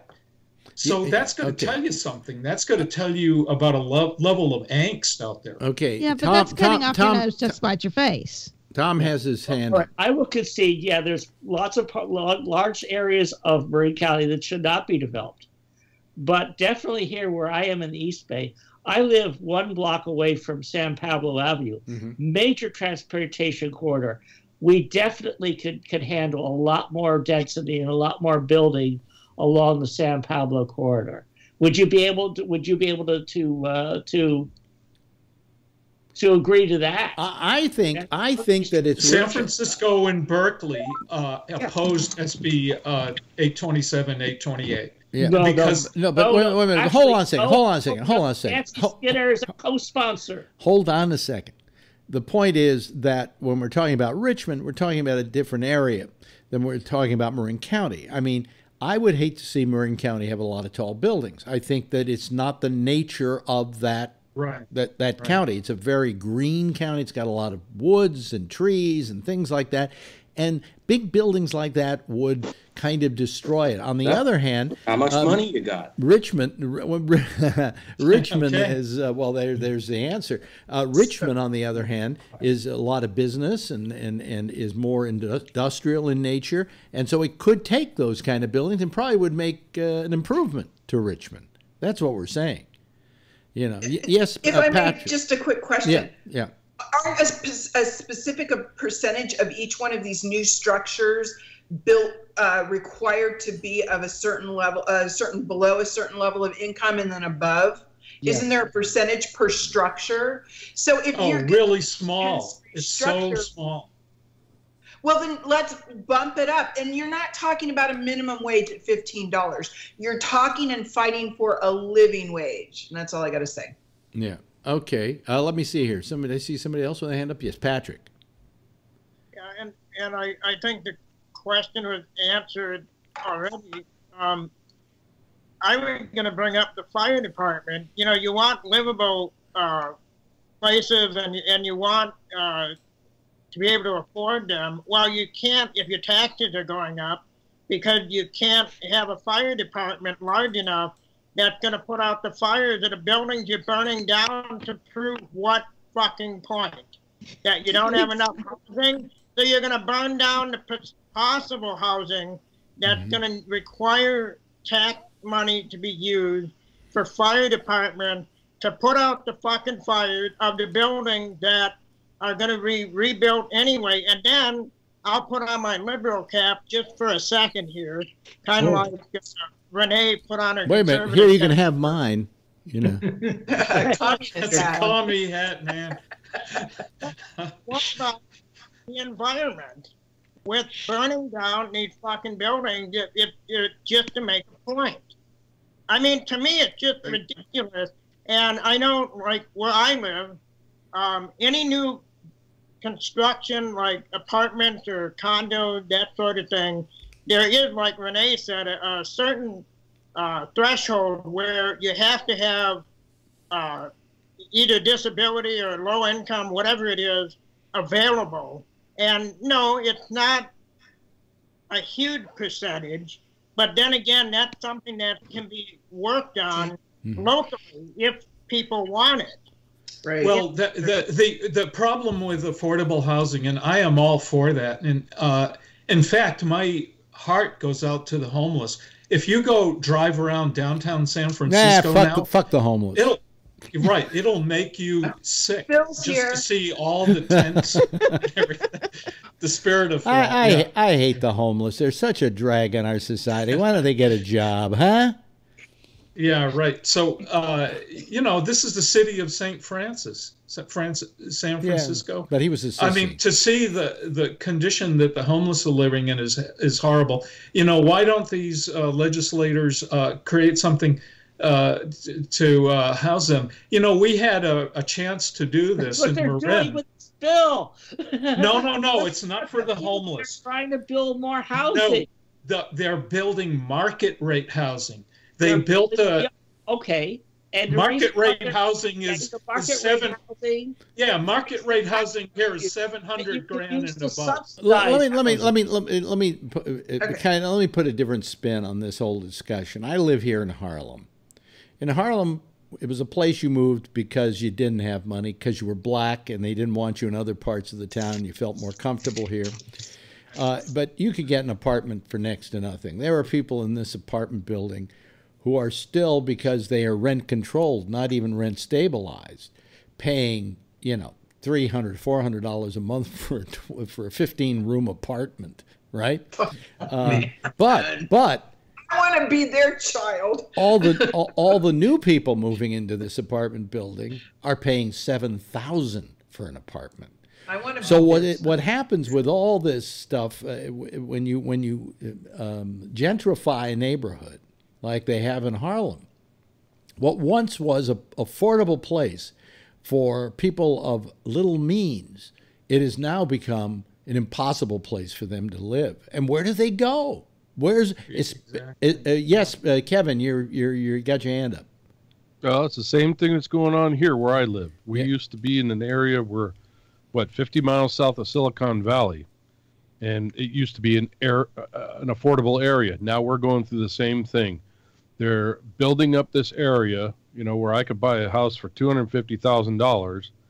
My house is now worth about six hundred thousand, hmm. and they're building all over here.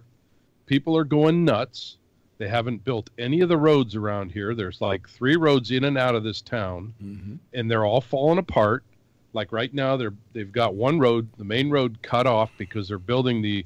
At the- least the- they're not the- the fracking main out there trestle, and destroying it the with main those railroad trucks. trestle. They've got it closed off. Everybody's going crazy trying to get in and out of this town for the next two days, and uh, the main routes are only two lanes. They don't have enough fire. They don't have enough police, and they're still building 244 houses a year, and What that's town is that? that's being restricted. What, what town? It's Hollister. Oh, Hollister. Yeah.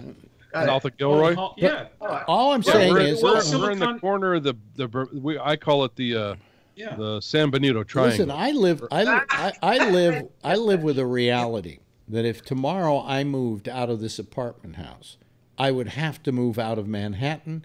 I would have to move out of New York because I couldn't afford anything anywhere else in New York now. Yeah. These people You are know. paying twenty six hundred dollar twenty six hundred dollars in rent on a three bedroom house in rent, and they have to. Is that in Hollister? Silicon Valley.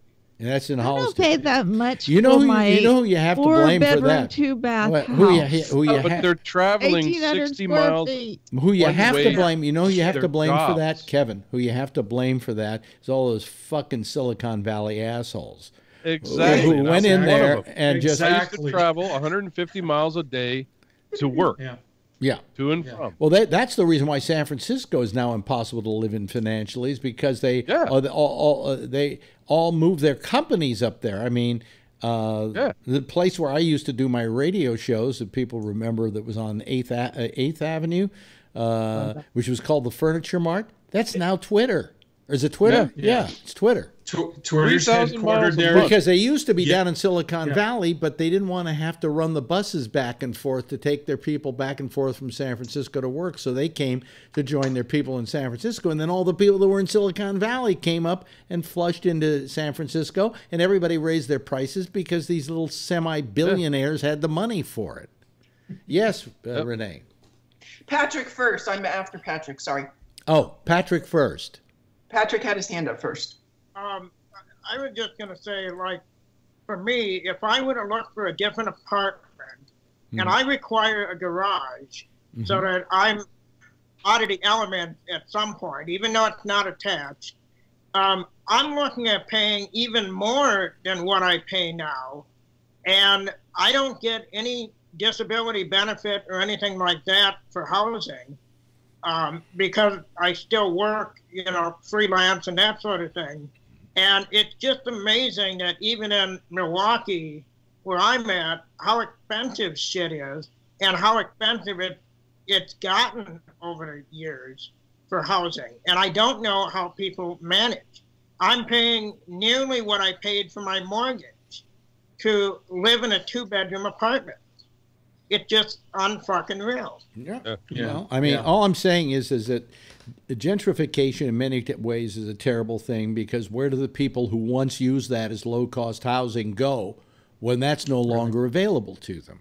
That's Uh, right. Okay, so the issue with the Bay, San Francisco Bay Area, and you were talking about the fact that Twitter moved up there because Twitter couldn't get its people down there, and there's a huge bus problem where the employers are putting their people on on charter buses and getting in the carpool lane and driving from San Francisco back into the valley. If the if we didn't if if the San Francisco Bay Area did not fail 40 or 60 years ago by getting Caltrain and looping an entire system around the Bay Area for mass transit, they wouldn't be in this problem. If the Bay Area would have put money into their mass transit, the corridor between San Francisco, San Jose, Gilroy, it wouldn't be like this. They're trying to do it now, and it's costing them up the butt. I was I was at a store one time and there was a lady just a little older than me and she said, "Oh, gee, I was at the protests so that that BART wouldn't go come on our side of the valley." And I almost flew over Well, that wait a minute. Hold, hold on a second. Hold, hold, hold on a second. Hold on a second. R- Renee, Uh, Renee, uh, it's, right, it's right, no. the tech companies that have driven this uh, building boom.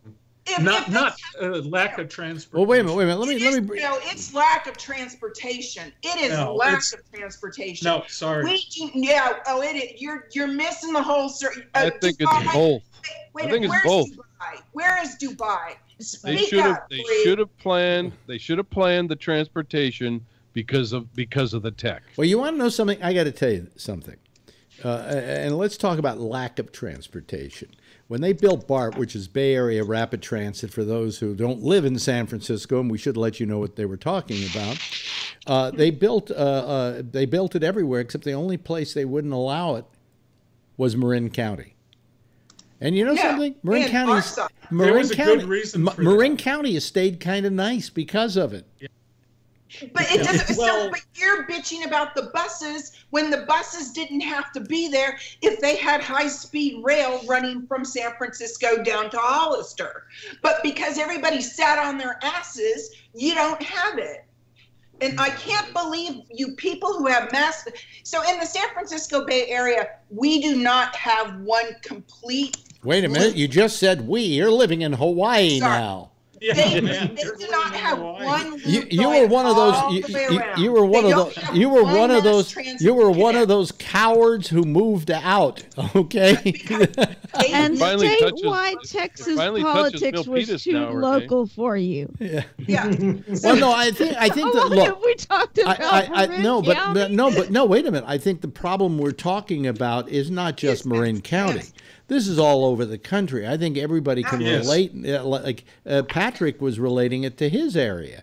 I mean, we're Yeah. just talking about Marin Yeah. County because that happens to be where Renee is from, and, and John lives in Marin, and It's and and and, and Kevin's this down in thing. Hollister. But these this is a generic. This problem goes on all over the country. And so, Yeah. you know, where are the, where, uh, yeah. You look at any major metropolitan city, whether Yeah. it's here in the United States or on the other side of the planet, Mhm. and those mass transits link up. They're circular. They're circular with the feeders into the city for a freaking reason because they know it works. But San Francisco, Sa- San Francisco Bay Area does not have one transit system that goes around, Right. and I'm not Okay. 200% sure that they Yeah, don't okay. have to make Okay. three Jeff, changes. Jeff had his hand up a while back. You had something you wanted to say, Jeff. Yeah. Well, I used to go to the Bay Area all the time for business. And and the reason I, I went there is because they were trying to expand their products and and and and a lot of this stuff was new technology, new medical stuff, whatever. And it was a tremendous number of people moving in the area because of the jobs. And the jobs were also, you got paid very well. But the problem was the transportation was lousy. Uh, when you had to go rent the place, it was very expensive and not very uh, modern, so to speak. but you kind of took over for that. Right. And they happen to be one of the places that still has tremendous number of jobs and well-paying jobs, probably more per square foot than any else in the United States. And it's going to continue that way with that economy. Well, uh, yeah. Yes, uh, uh, uh, Tom.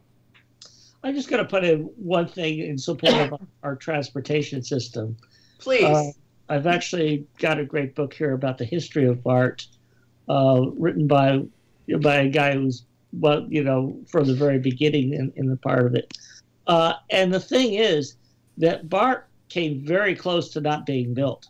Oh yeah, I heard Three, this. three counties had to had to vote on it, and it came. The vote was very very close.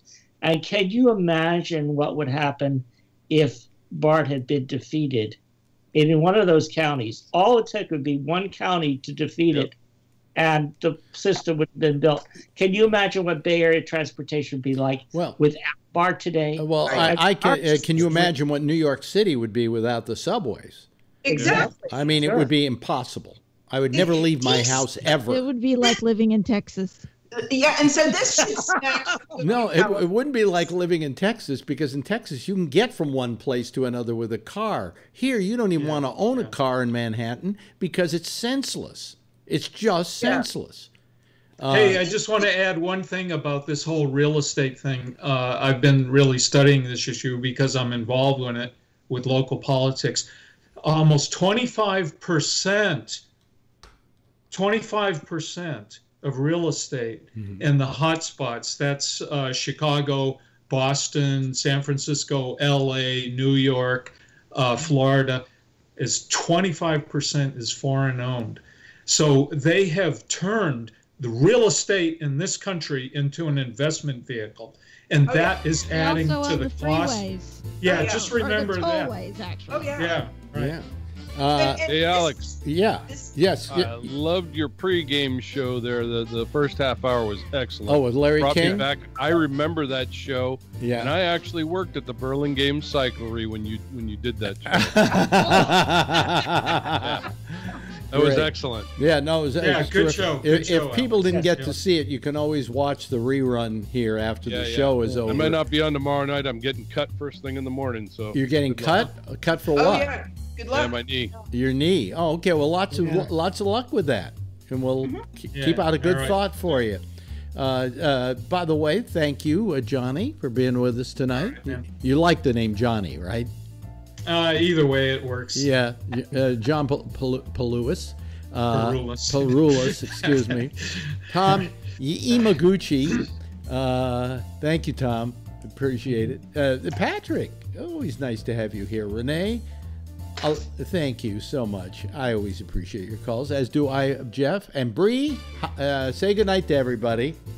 Good night. Yeah, and, and, and next time, turn your camera on so we can see Dubai. Yeah, it's tough. It, I know it's tough. And uh, K- Kevin, again, lots of luck. Hey, everybody, why don't you give a big wave goodbye uh, so that uh, they can all see that you love them? Okay? All right, there goes our citizens panel for tonight. Wait a minute, hold on a second. I got to get my camera on. There, there. Oh, wait a minute. Look, look at Bree. He's got his hand going there. That's what we got to Bree tonight. Anyway, uh, thank you uh, very much, Bree. I appreciate it. Uh, let me see here. Let me get rid of the uh, citizen panel here, so the next show can use the uh, Skype lines. We should get like a couple of Skype lines, so we wouldn't have to just have one. Anyway, that's it for tonight. I'm Alex Bennett. Stay tuned for the uh, intersection next with Jack and Amy, who you just heard on our panel. Thank you, Amy, for having joined us. Uh, and uh, they will be on until mid uh, until one o'clock in the morning when it's connections. Tomorrow night at 9:30, Damian Chaplin takes to these uh, GABNet airwaves, and then tomorrow night at 10, uh, we're here. Okay. See you tomorrow, same time, same station in life. In the meantime, as always, if you see her, tell her I love her. Okay. Bye.